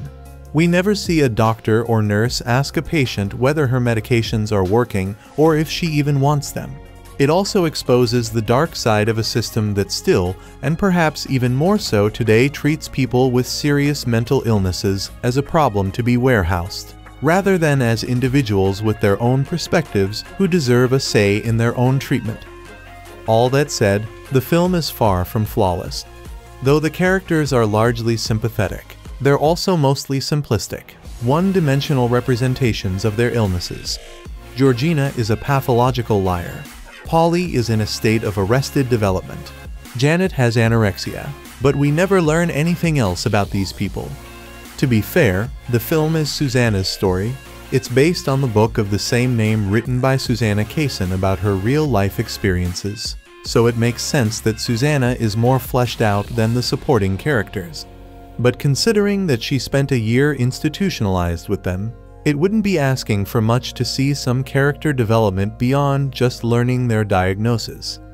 Lisa does get more development by virtue of her extended screen time, though we still learn surprisingly little about her beyond the symptoms of her illness. She's charming, manipulative, selfish, and at times scary. And although she doesn't get a happy ending that we see, the film comes dangerously close to glamorizing female sociopathy.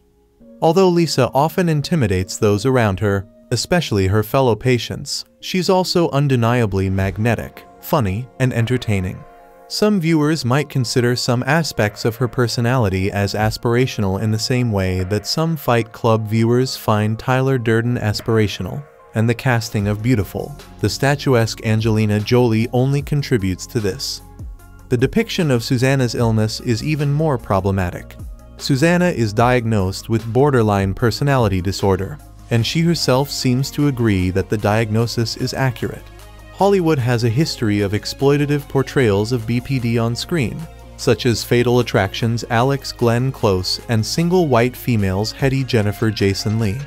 Girl, Interrupted, though, is a drama, not a thriller, and wants to make Susanna likable and sympathetic rather than villainous. But in doing so, it tends to focus on the sexy, fun to watch parts of her illness, the impulsivity, the promiscuity while glossing over or ignoring the less attractive symptoms that typically present with BPD.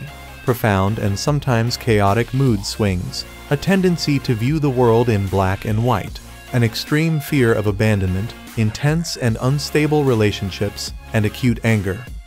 Of course, not all people with BPD experience all of these symptoms, but the vast majority experience some of them.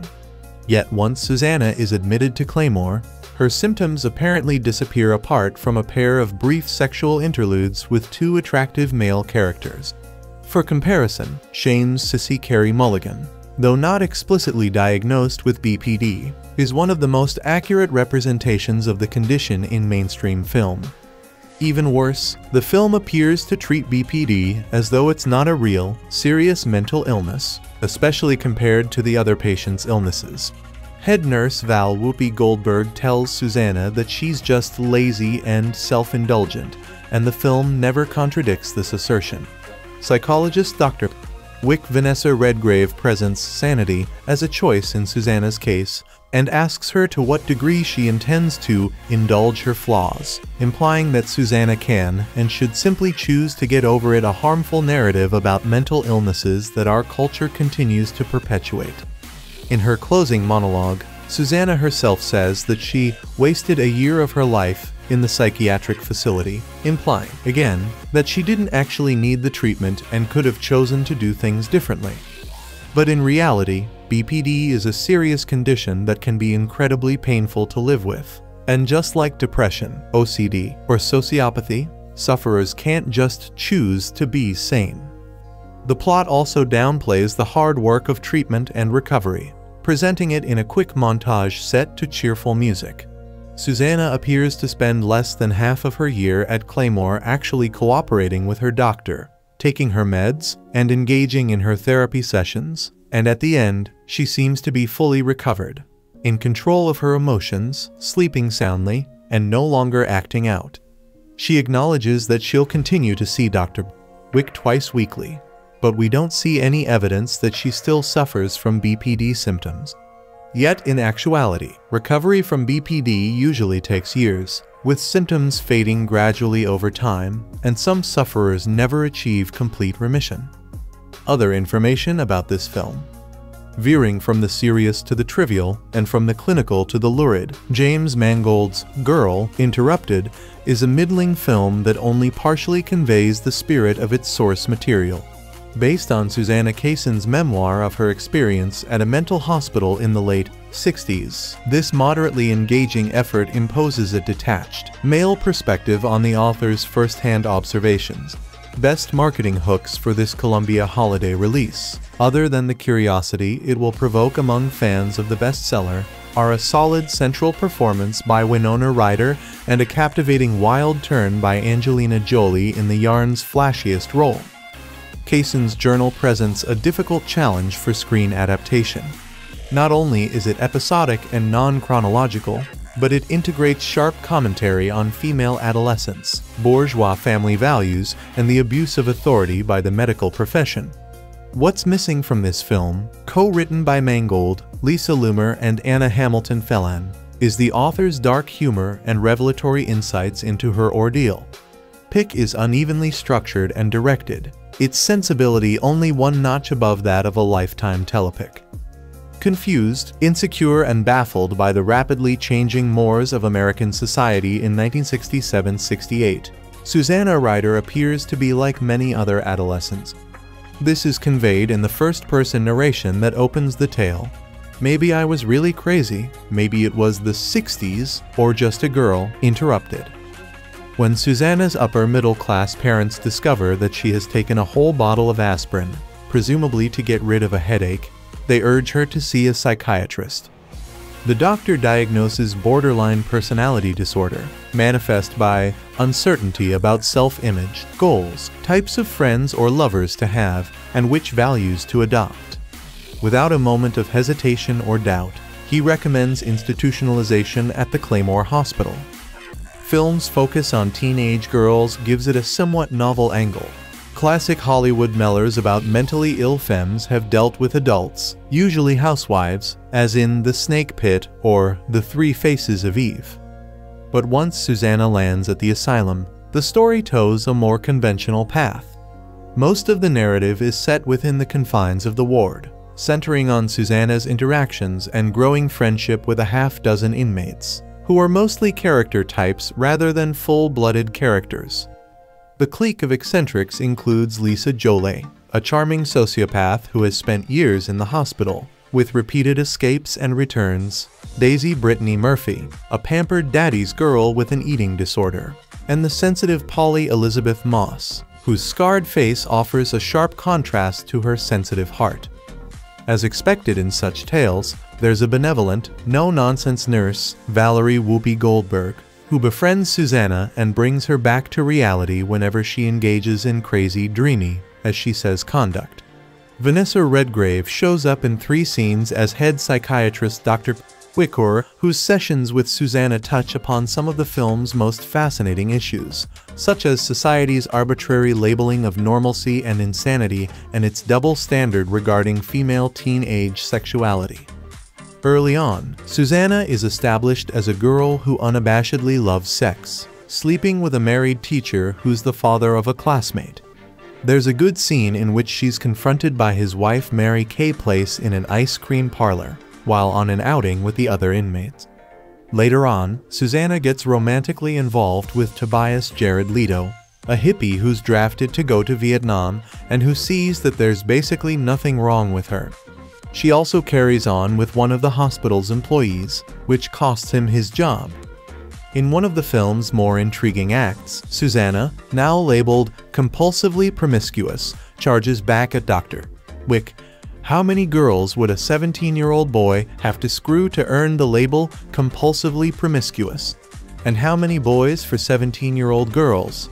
One wishes the chronicle contained more substantial scenes like this. But Mangold seems content merely recording daily existence in the ward, focusing on the formation of cliques and the camaraderie among the girls, which were not central to the memoir.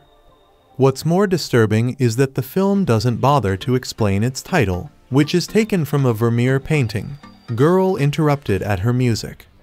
In the published journal, there are wonderful recollections of how Susanna first saw the painting with her English teacher at the Frick Gallery of the impact it continued to exert on her and of her second encounter with Vermeer's work 16 years later. Mangold, who made an auspicious directorial debut with Heavy, disappointingly employs the same strategies that he used in that 1995 film and in his next effort, Cop Land but the longueurs and deliberate pacing that were so crucial to the dissection of uneventful life in Heavy prove detrimental here as they did in Cop Land to viewers' involvement, resulting in a lopsided, often dull movie. Ryder is credibly cast as the rich, spoiled and confused girl, occasionally rising above the script's limitations. Stealing every scene she's in, Jolie is excellent as the flamboyant, irresponsible girl who turns out to be far more instrumental than the doctors in Susanna's rehabilitation. Redgrave and Goldberg are decent in roles that don't allow much emotional range. As befits the setting, production values are unadorned, particularly the visuals by Jack Green, Clint Eastwood's reliable lenser, who endows the story with a rough but sharp look. Richard Hoover's detailed design and Arianne Phillips' tacky costumes contribute to an accurate recreation of the late 60s, highlighted by popular songs of the era. Every actor or actress has his or her pet project, something they put their whole heart and soul into getting on the screen. For some, especially those who flirt only briefly or not at all with the spotlight of public adulation, this can be an act of futility. Even for those with a reputation and some clout in Hollywood, the road isn't always easy. Such was the case with Winona Ryder and Girl Interrupted. It took several years of lobbying and hard work for Ryder to secure the financial backing for the project to be greenlighted. The final result, directed and co-written by James Mangold, bears Ryder's name as an executive producer. It also comes with the seal of approval from Susanna Kaysen, who wrote the autobiographical book upon which the screenplay is based. She has been given an associate producer credit. When it comes to sexual promiscuity in American society, is there a double standard? Of course, and it was even more evident during the mid to late 1960s, the era in which Girl Interrupted is set. As Susanna, played by Winona Ryder, the lead character, puts it, how many girls would a 17-year-old boy have to sleep with to earn the label compulsively promiscuous? And how many boys for 17-year-old girls? The answer is telling. A teenage boy with multiple partners would be considered virile or would be viewed good-naturedly as sowing his wild oats. At best, a girl who approached sex with a similar vigor would be called a slut. At worst, as was Susanna's case, she would be classified as having a borderline personality disorder. Of course, enjoying sex isn't Susanna's only problem, she also occasionally hallucinates, and after attempting suicide, she is encouraged to check into Claymore, a suburban Boston mental hospital that's more like a country club than an asylum. Only after signing the admission papers does she learn that she can't just walk out the hospital has to release her. So Susanna is stuck for the long haul, which turns out to be nearly two years. With the exception of a few flashbacks designed to establish aspects of Susanna's character before her 1967 commitment, the film is mostly set within the walls of Claymore, and focuses on the relationships Susanna establishes with her fellow inmates and Valerie Whoopi Goldberg, a nurse who has her best interests at heart. Other patients who register as more than walking cliches are Daisy Brittany Murphy, a highly strung girl with an eating disorder, Georgina Clea DuVall, a timid pathological liar, Polly Elisabeth Moss, a disfigured girl with low self-esteem, and Lisa Angelina Jolie, a charismatic sociopath. For Susanna, her time in Claymore represents a period of self-discovery. At first, she is angry and antisocial, and gravitates naturally towards Lisa, the ward's most consistent troublemaker. Eventually, however, she learns that Lisa's cruel streak has a vicious edge that she doesn't want to be associated with. So she concentrates on writing in her journal and making a conscious effort to rehabilitate, in many ways, Girl Interrupted is a series of episodes loosely connected by a common setting and the same group of characters. One thing Mangold's film does is to take a far more humane view of mental patients than most movies. Of course, the fact that everyone in Claymore has deep financial pockets makes it easier there's far more freedom and personal attention than one would find at a state institution, a truism that Valerie mentions at one point. For the most part, the film manages to avoid seeming like a ripoff of One Flew Over the Cuckoo's Nest with Women. Another asset the director is able to mine is the talent of his cast. Winona Ryder brings Susanna to life in a low-key manner. This quiet, subtly powerful approach proves to be the right one, since it allows Susanna to seem strangely normal compared to her fellow inmates. The film also has the courage to run with a protagonist who isn't entirely likable.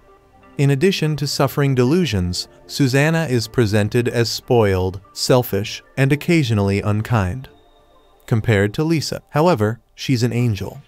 In Girl, Interrupted's most visible role, Angelina Jolie shines like a supernova, radiating flamboyance, it's an electric performance that energizes every scene in which she appears, recalling but not imitating Jack Nicholson's turn as Randle P. McMurphy in Cuckoo's Nest. This is top-notch acting that avoids the cliché pitfalls, and although Ryder is equally as good, Jolie's work is the kind that gets recognized at awards time, and for which she earned a Supporting Actress Oscar. Brittany Murphy, Clea DuVall, and Elisabeth Moss are effective in supporting roles, and Vanessa Redgrave has a small part as Susanna's Dr. The most significant flaw in Girl, Interrupted is the basement scene climax, which is a little too pat and causes the film to wrap on a note that feels more manufactured than genuine. Other than that, however, this is a fine film about relationships and self-discovery.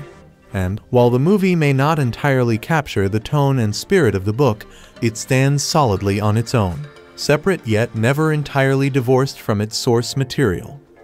Positive elements it's twisted, but seeing the reality of suicide radically alters Susanna's state of mind regarding her own death.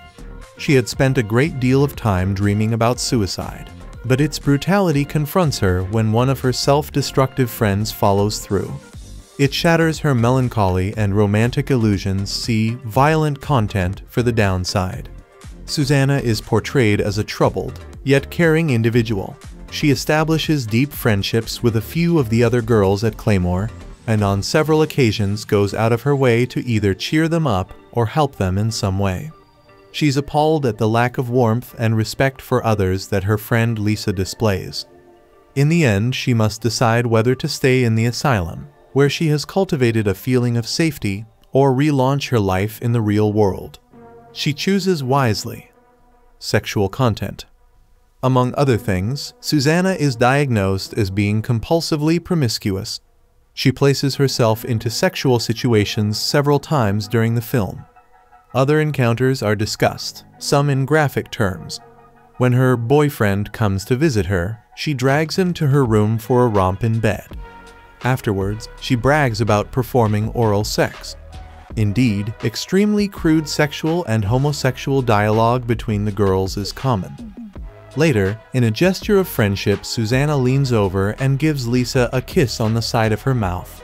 Implied lesbian attraction comes up a few times between Lisa and other girls, but she and Susanna never act out whatever feelings they may have. Violent content. Disruptive and violent mental patients are shown being admitted and treated at the hospital. Kicking, clawing, struggling, and screaming make for several rather intense scenes, one of Susanna's friends hangs herself after Lisa unleashes a tirade of hate and accusations against her. The poor girl is accused in explicit terms of enjoying her incestuous relationship with her father. The camera lingers on her dead body hanging over the bathtub as Lisa callously goes through her pockets for money. Susanna cries hysterically. Crude or profane language. F-words dominate with over 50 uses. The S word and other vulgarities aren't far behind. Drug and alcohol content. Susanna and her fellow patients smoke constantly. Rarely are any of them seen without a cigarette between their lips. Susanna chases a bottle of pills with alcohol in her suicide attempt. Revelers drink at a dance club. Patients at Claymore trade pills for favors. When Susanna and Lisa break out of the hospital, they share a marijuana joint with a group of hippies.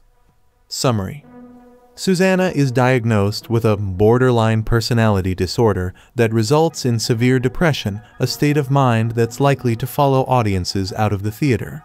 Girl, Interrupted is a dreary indulgence into the world of mental disorders, despair and hatred with little offered to lift the gloom. Many teens may find affinity with Susanna's disenfranchised existence, but they won't get much hope in return. What you need to know.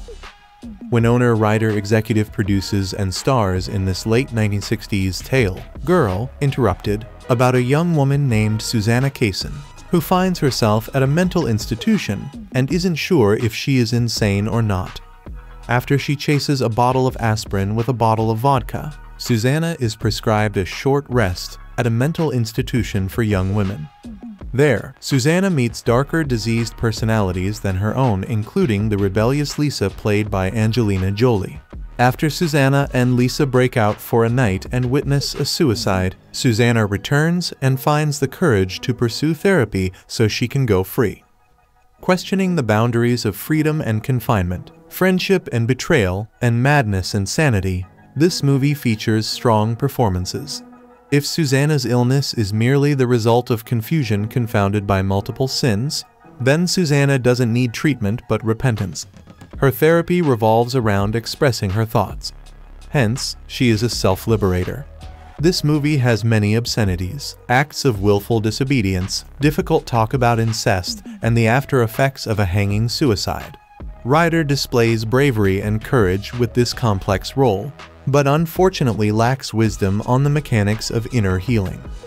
Content Largely humanist worldview of recovery from insanity by psychotherapy, with many pagan elements of sheer rebellion and some mild moral elements of caring for others, self-sacrifice and mention of praying for another.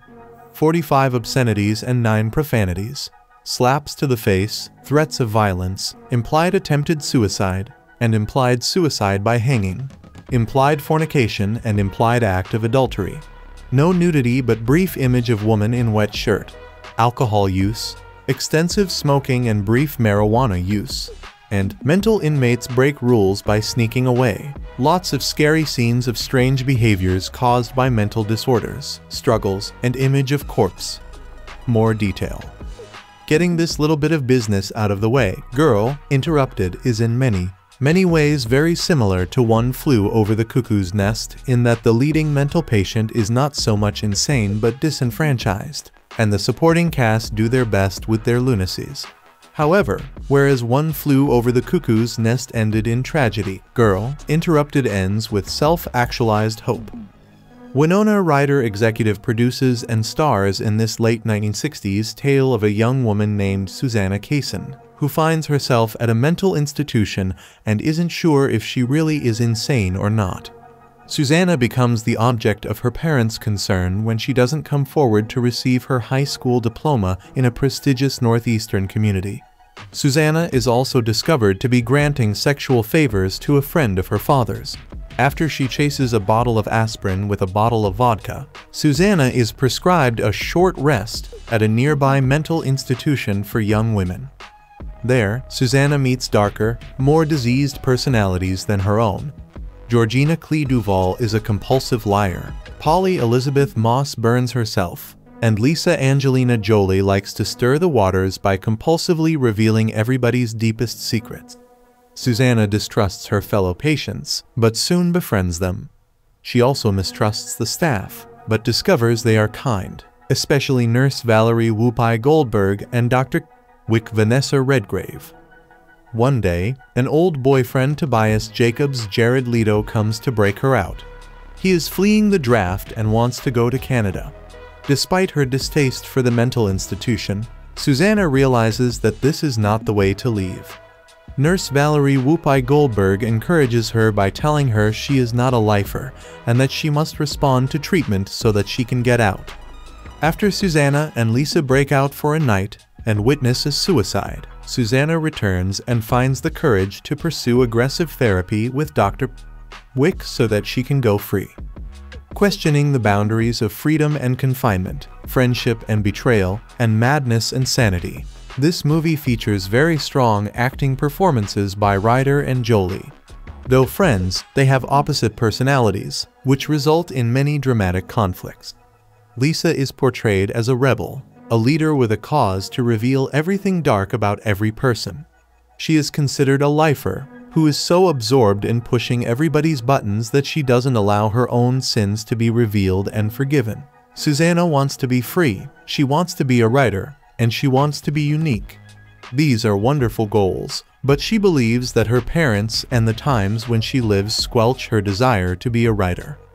If Susanna's illness is merely the result of confusion confounded by multiple sins, such as willful disobedience and sex, then Susanna doesn't need treatment but wisdom and repentance. Her therapy primarily revolved around expressing her thoughts in her journal and to her therapist. Hence, she is a self-liberator.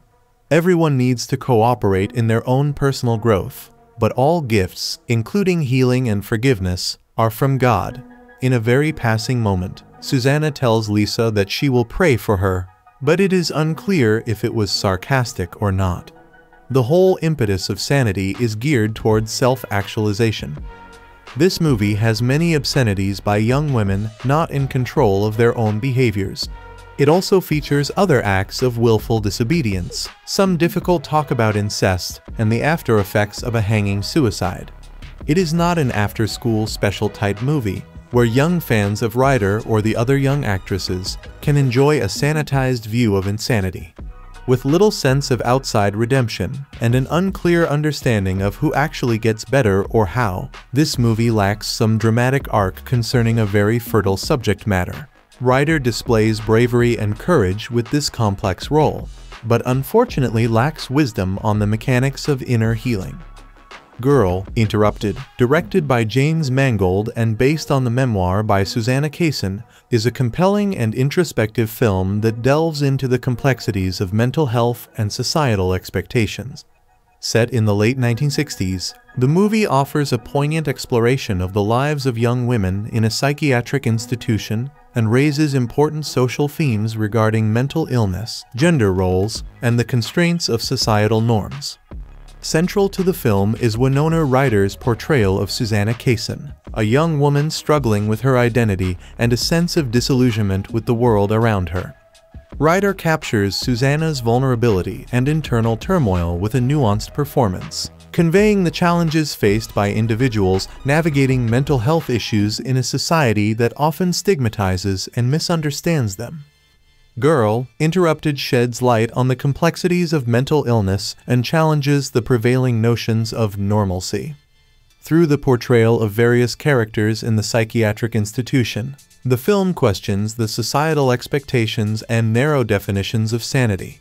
It challenges the viewer to empathize with these young women, highlighting the human experiences and emotions that transcend diagnostic labels. The film also examines the impact of gender roles and societal pressures on mental health. It touches upon the limited options available to women during the time period, showcasing how the characters are confined by societal expectations and struggle against the predetermined roles imposed on them. The exploration of female friendships, power dynamics, and the repression of personal desires adds depth to the narrative, shedding light on the broader theme of female autonomy and agency. Furthermore, Girl, Interrupted provides an honest portrayal of the flaws within the mental health care system.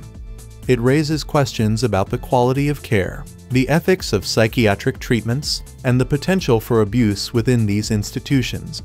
By exposing the institutionalized mistreatment and dehumanization of the patients, the film sparks a conversation about the need for compassionate and individualized approaches to mental health treatment.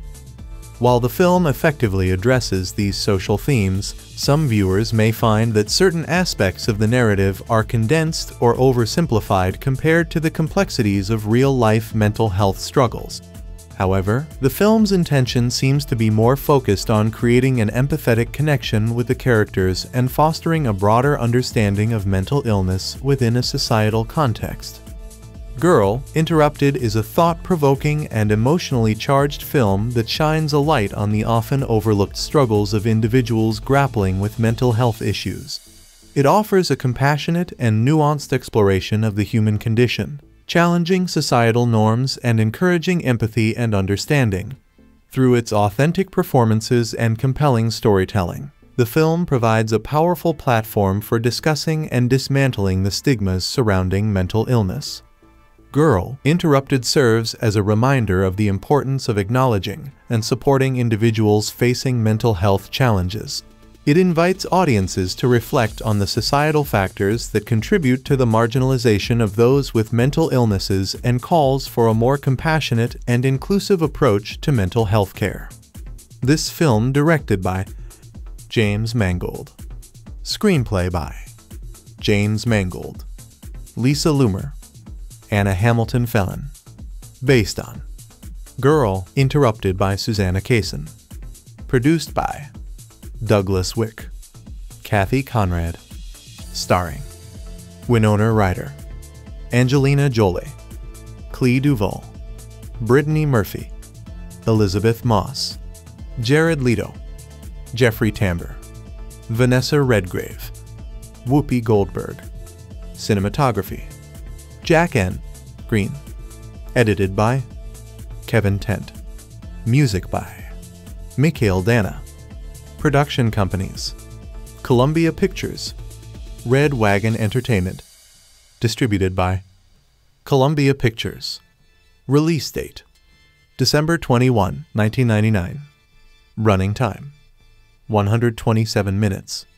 Country United States. Language English. Budget $40 million. Box office $48.3 million. So guys, this is the review of Girl, Interrupted movie and some information about it. How do you like our today's video? Please let us know by commenting, and if you like this video, please like it.